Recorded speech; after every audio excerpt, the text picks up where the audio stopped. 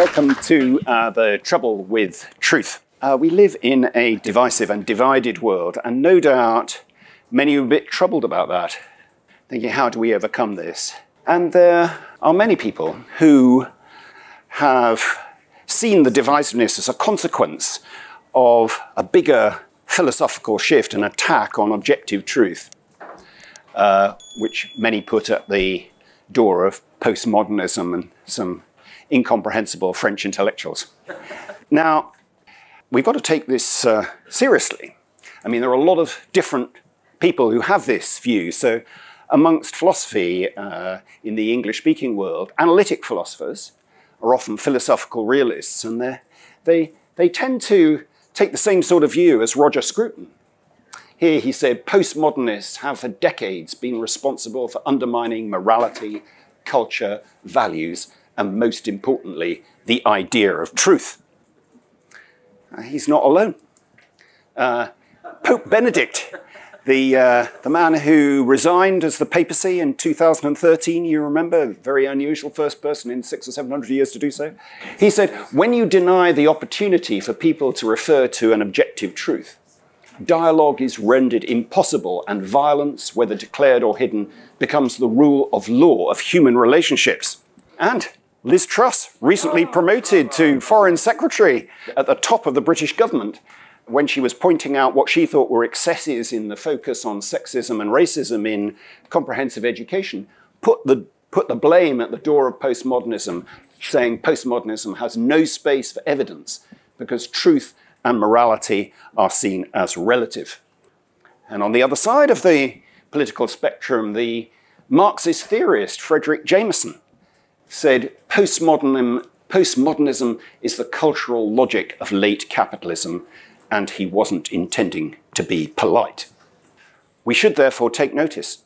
There are many people who would see this attack on truth as being an attack on the very central aspects of our culture, our culture which has been built, an Enlightenment culture which has been built on the idea of progress and knowledge and discovering things. And the attack on objective truth seems to undermine um, all of that. And I have sympathy for that. I've been engaged with the puzzle about truth, and as we'll see, it's a deep one throughout my philosophical career. And when I started, rather laughably as a, as a student, I can remember I had a, a renowned social theorist as a tutor called Stephen Lukes, and he'd written about relativism. And I began uh, farcically saying to him, I want to use this term to get to the bottom of the bedrock of knowledge. I want to find the foundation. And he rather kindly uh, indulged my naivety. But he had the last laugh because the more I tried to find a bedrock for knowledge, the more I uncovered our inability to do so. And the first sign that there's something problematic about this attachment to objective truth is that these folk who are critical of objective truth don't seem to be able to agree on what they think it is. Analytic philosophers tend to hold a scientific view of the world. They think that science goes along with truth, we gradually discover what's going on, and they certainly don't have the same version of objective truth as Pope Benedict. And the same is true of the politicians we've seen. I mean, Liz Truss doesn't really have very much to do with the sort of views that uh, Jameson is going to hold. In fact, your start of a 10, what do they agree on? So there's something a bit puzzling about this assertion of objective truth. And, and it begins to look as if the assertion of objective truth is not based on some, you know, observation of the evidence. It's just a desire to say, I'm right, and I don't want there to be any further conversation about it. So, I'm not saying that denying objective truth isn't dangerous. I think it can be. If we are critical of objective truth and we say, well, everyone can have their own view, and we just have a multitude, a plenitude of alternative ways of understanding the world, that's potentially really problematic if all we get is anarchic chaos and nobody can agree on how they might solve these disputes between them. So, how are we to escape from this maze that we found ourselves in? Situation where we've somehow recognized the perspectival character of truth, but on the other hand, we don't want the consequences. Well, in order to extricate ourselves from this maze, I think we first of all got to understand a little bit about how we got here.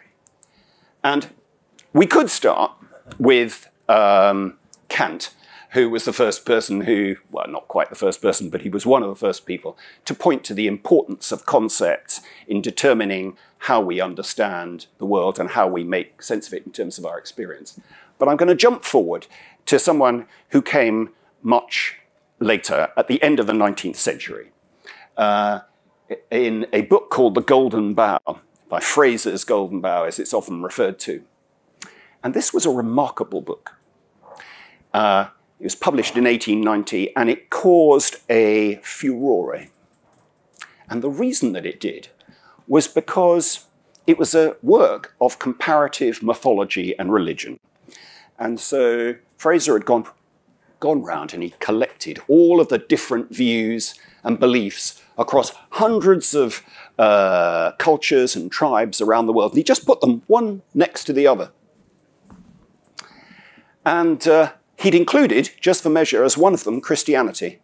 That really sent people off the deep end. Because it looked as if, how could any one of these be true? There are just hundreds of them, all different, one after the other. So why should we think that any of one of these could be, could be true? And so the, the contextual, perspectival uh, uh, genie was out of the bottle. And so what began as a recognition of just the, the contextual character of religious and mythological belief became a recognition of the contextual character of moral uh, belief and of our social organization. And it didn't stop there. We then, the early 20th century, became more and more aware of the significance of language. Up until then, there'd been the idea somehow language is sort of transparent. You have an idea, you use language to talk about it, it's all very straightforward. And then, the early part of the 20th century, that changed, and we became more and more aware that the very way that language is used and the concepts we use changes how we understand it. So the context is not just a historical context or a social context or a cultural context. We've also got the context of language. And there was a further move. Post war, the last nuggets of solidity became under attack.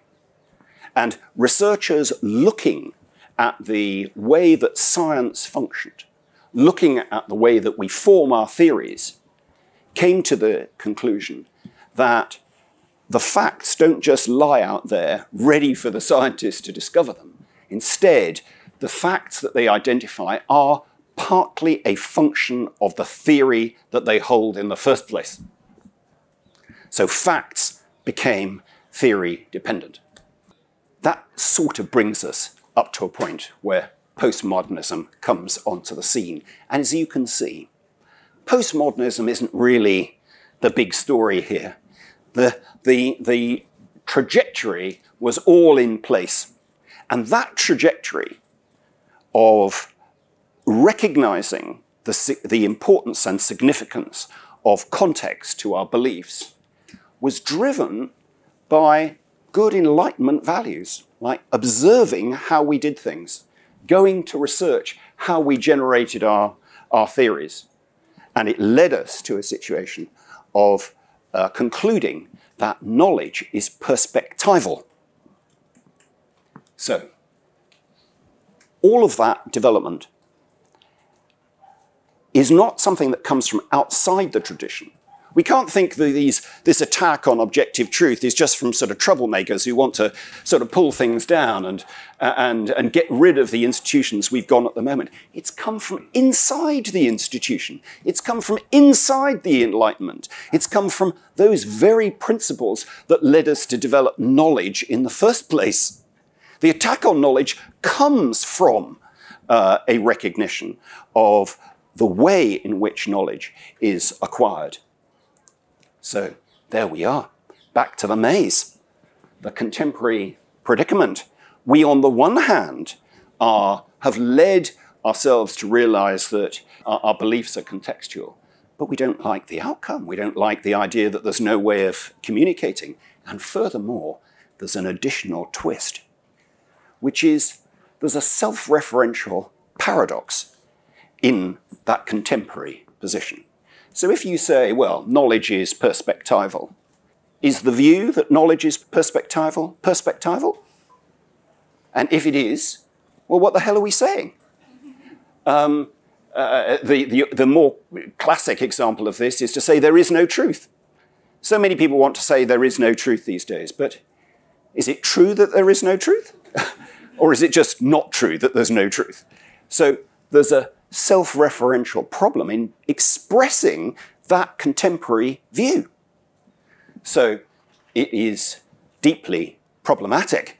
What are we going to do about it? And I certainly don't think we can stay here. Now, when I first came across this problem, I thought that the key figures in philosophy, in the British tradition, Wittgenstein, and in the continental tradition, Derrida, were very much enmeshed in that paradox. So the, they, they had radical consequences for their story of the world. Wittgenstein came to the view that he could make no overall comment about the nature of ourselves and the world at all. It's just over. We can't do that for this reason, that you can't state it.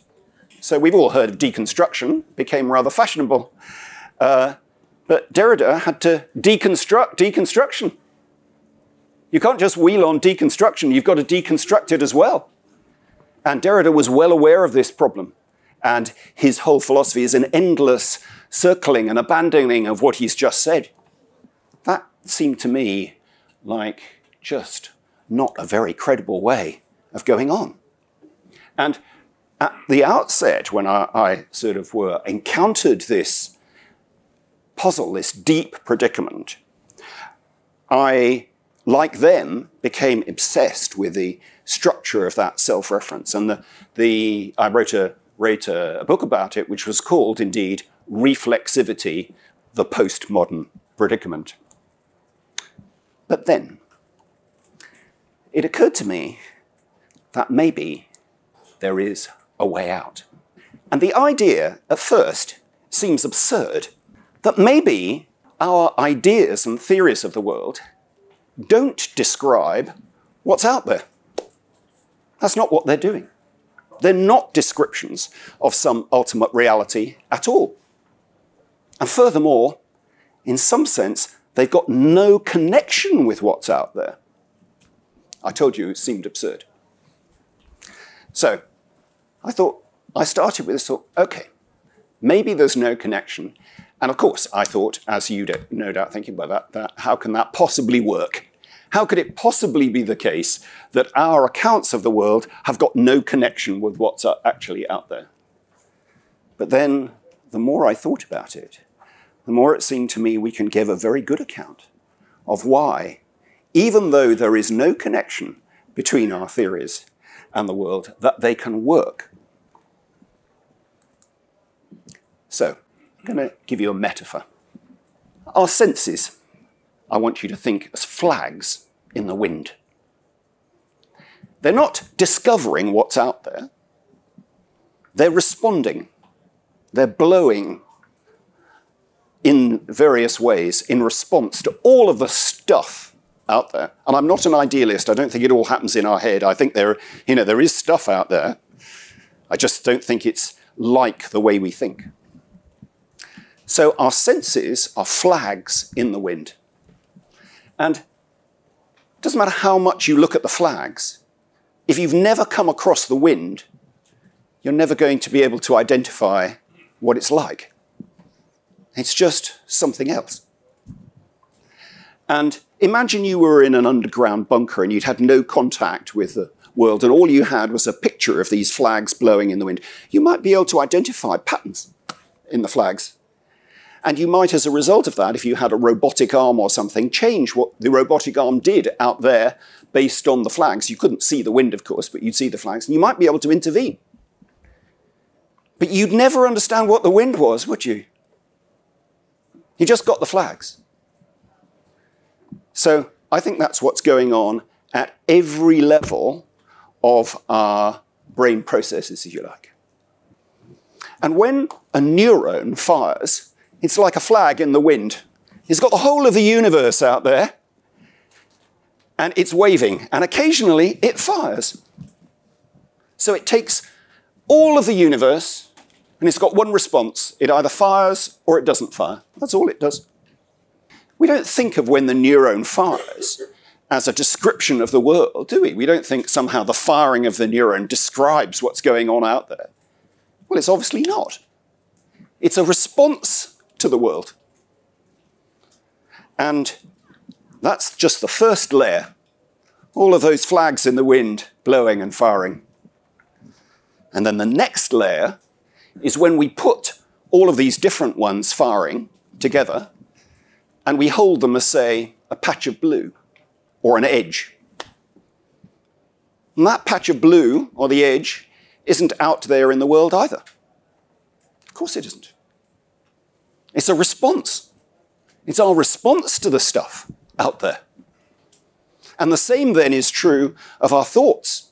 Our thoughts are ways of holding different inputs from one sensation, one sense with another. I can think of this as a table. I hold the, the flags blowing visually with the ones that happen when I feel it. They're quite different things. They're utterly different things. There's no connection between the feel and the visual sensation uh, that I'm getting from, from the visual side of things. And I hold both of those together with the idea table. And we imagine there is a table out there. But it's the same game. It's a way of holding the world which enables us to intervene, but is not a description. That's not what's going on. Now, one way of thinking about that then is our thoughts and our sensations are tools. They're tools to help us intervene in the world. They're not descriptions. And just like any other tool, a pen, a pen can be useful, it can be nice to hold, it can be effective, it can be easy to write with or not easy to write with, it can be better or worse. But you can't have a true pen, can you? That doesn't make any sense. You have a useful pen, you have one that doesn't smudge, you have a, a pen that's useful for certain things, you can have it as an aesthetic object, you can have all, but you don't have a true pen. And that's what's going on with our theories and accounts of the world. They are tools to help us intervene. So let me give you a specific example of that, which might help you realize just how powerful are ways of holding the world, which I would describe as closures. And I describe them as closures because the vocabulary that I would offer you is that we think of the world as being open and we close it. And we close it through all of these uh, specific ways of responding. Now, an example of how that actually works, because you might still feel quite skeptical about this, is when you look up at the stars, you can see all sorts of patterns, can't you? We're used to ones like Orion, Cassiopeia. Those astronomers amongst you will be able to pick out Hercules. But we don't think those patterns are the ultimate ones. Other cultures have completely different patterns that they find in the sky. And not surprising. because in just 100 stars, you can make more patterns than there are atoms in the known universe. That's really the case. You can make more patterns out of 100 stars than there are atoms in the known universe. So in the sky, it is an inconceivably large number of patterns. And when you look up, you just choose one. Oh, I can see Orion. But that's one out of billions and billions and billions and billions of possible ways of holding the stars. So we don't remotely think that any of those are true, do we? I mean, do we? I mean, they're just different ways of looking at, at stuff out there. But that doesn't mean to say they're not useful. When you've, when you've spotted Orion, I can say, oh, just look at the star that's to the top right-hand side of Orion. I can use it to point to other ones. I can then identify other shapes in the sky, pattern the whole sky, and then we can spot the ones that don't fit into the patterns, that break it, the ones that we now call planets. And furthermore, we can then put all of those together, watch them go across the sky, and we can use them to navigate round the world. That's what we did before the invention of the compass in about 1300. The only way of getting round the world was by looking at those patterns. But we don't think they're true. They're just ways of holding the stuff. So, the way we hold the world doesn't have to be true in order for it to be fantastically useful. Now, I, uh, I put forward together this theory, which is from a philosophical theory, some 20 years ago. It was called closure. And since then, one of the intriguing things for me that's happened is that neuroscience has started to come to the same conclusion. Figures like David Eagleman, who's a neuroscientist at Stanford, and Donald Hoffman, who is a cognitive scientist at the University of California, Irvine, who also, incidentally, gave a talk here a couple of years ago. Um, they have come to the conclusion that the when you look at the way that the brain processes work, they don't describe some stuff out there. That they create these models on the basis of which we intervene in the world. And indeed, David Eagleman has said reality is an illusion. So, I think we have to recognize that this initial thought that our ideas don't reflect the ultimate stuff out there, which initially seems absurd, we have more and more uh, reason to think like this. And it applies for the whole of human knowledge. It applies to every aspect, all of the things that we might know, where, how the universe began, where, how culture is divided, and so forth. They are ways, there are tools to enable us to make sense of the uh, world. And we change these very radically without uh, it being a disaster. So we've currently got a model of the universe, uh, something about the Big Bang. You will have been taught these sorts of things at school, and the standard model, and, and so forth. Well, recently, we've identified that when we use these models, it doesn't seem to match up with what happens. And so we've had to create new bits. We've had to invent new bits of what I would call closure to try and get that model to work in the form of dark energy and dark matter. And we just tacked it on. We've got no evidence for the dark matter or dark energy other than we just need to do something to our model to get it to work. And so we've just added them on and saying, well, this might be a solution. But these aren't minor changes. Dark energy and dark matter account for 95% of the matter in the universe.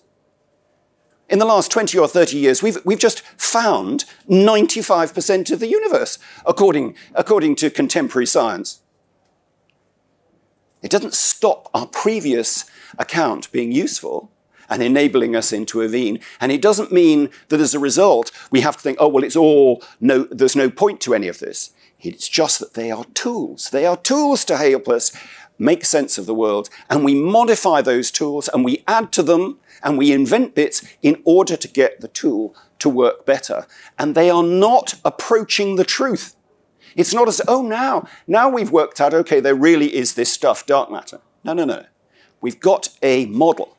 And the model works better if we uh, imagine that there is something which is dark matter, if we hold the world like that. Some of you may be a little bit convinced by this, but many of you may also think, that's all very well, but I, am uncomfortable. I don't, you know, I, have I've grown up, I, I, had my childhood, I learnt all of this stuff in the books, I, I looked at the encyclopedias, I've developed my idea of what's going on, and now you tell me, you know, this is just a sort of um, human artifact, that it's not really about stuff in the end. And that's true of everything. And you might understandably think, well, I'm scared. I don't want to be lost. But another way of thinking about it is that it's not that we are lost, because actually we've always been lost in that sense. No one has ever come up with an account of the universe which lasted for, for any decent length of time without people trashing it.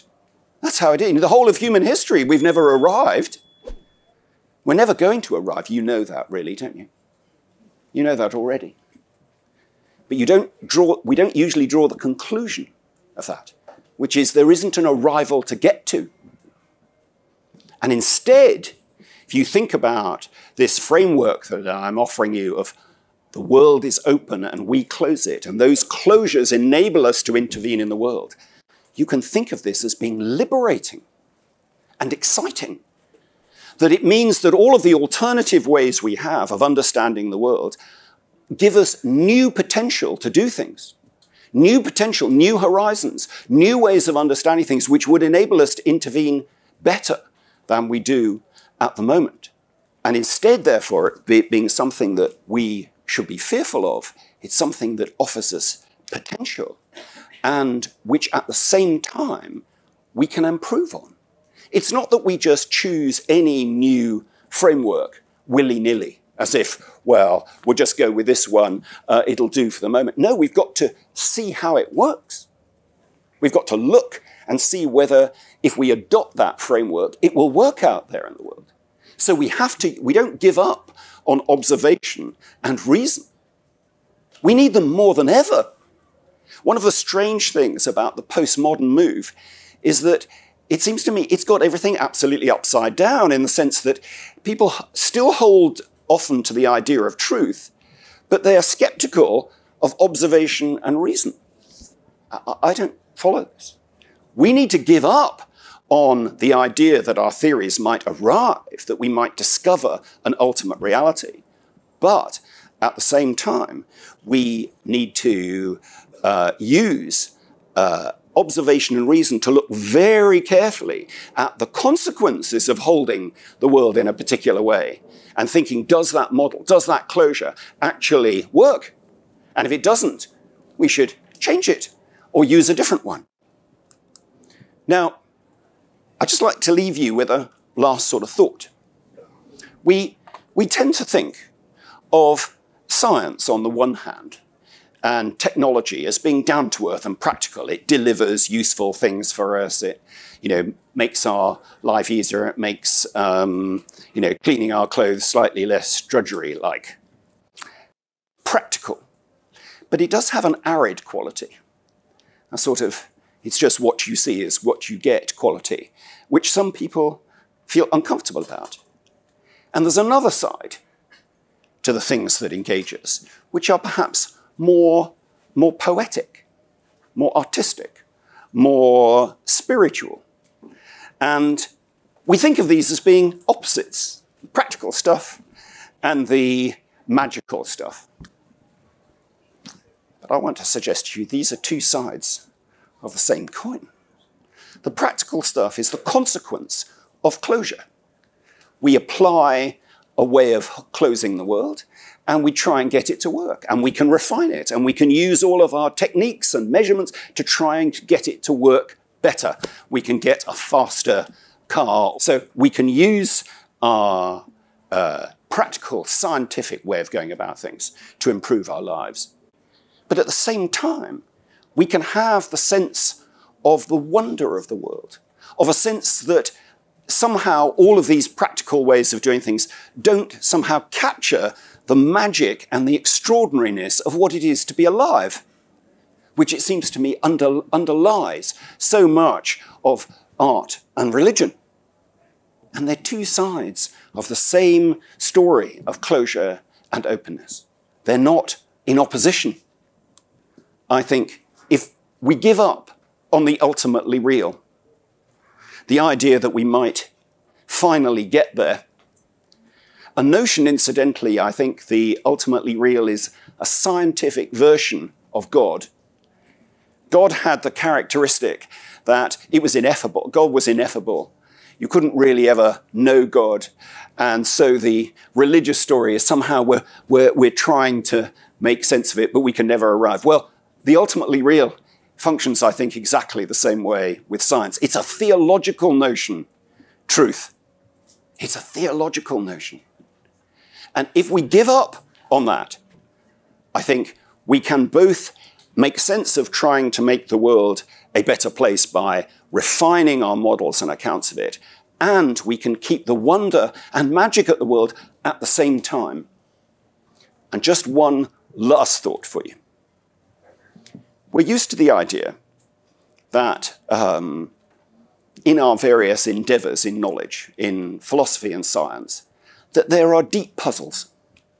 So in philosophy, you know, there's a puzzle about uh, the nature of consciousness, or there's a puzzle about the nature of things, or of morality, or whatever it be. And in science, there's a puzzle about what came before the Big Bang, or what is the structure of uh, force, or where do we uh, determine the laws of uh, the universe?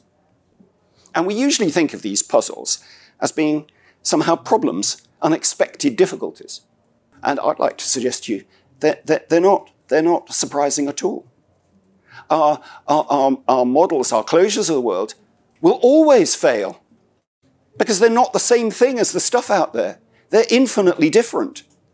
And therefore, the closer we look at them, the more we can identify the bits that don't work. And that's why, whatever framework you have, you get problems. That's why, wherever you look, there are cracks in the theory. And so, the cracks in, the th in our theories are not unexpected gaps, they are inevitable gaps. If we plug the gap in contemporary science at the moment with, um, uh, with dark matter and dark energy, There'll be new gaps, won't there? There'll be gaps about, well, how is it formed? Uh, where do these things really come from? And we imagine that somehow we can keep on adding and get to the end, but we can't. We'll never get to the end. There are always going to be those puzzles, and those puzzles, those cracks, are potential for us. They're the potential for us to find another way of thinking about it, a different closure, a different constellation that would enable us to understand the world in a way which enable us to achieve things we can't achieve at the moment and make, hopefully, the world a little bit of a better place. Thank you.